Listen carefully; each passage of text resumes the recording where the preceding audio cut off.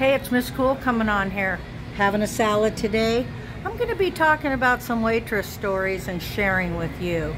So if you want to follow me on my YouTube channel, that'd be pretty cool too.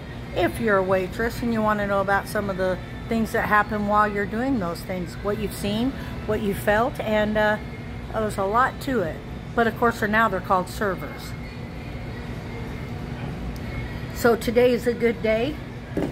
My first boss was Greek. And he said, Pamela, what you're going to learn here, you can do anywhere in the world. And so with that, I uh, ironed my apron, put my white shirt on, and uh, I went for it. And I can say now, being 66 years old, that uh, I wasn't the best waitress, but the thing that made me different was I had fun. And when I had fun, I learned. So always know that when you go to work, just have fun, and then it's not so hard. And if you have to learn a new menu or anything to do with computers or anything like that, well, you can always uh, be the kind of person that says uh, the hardest thing to learn is that it's easy. So there's a lot of things to learn when you're working in a cafe diner like this. I come in here because it's a lot like where I used to work. You got a lot of booths like this. You got tables like this that you can join. Okay? And you have these little deuce tables here, the twos.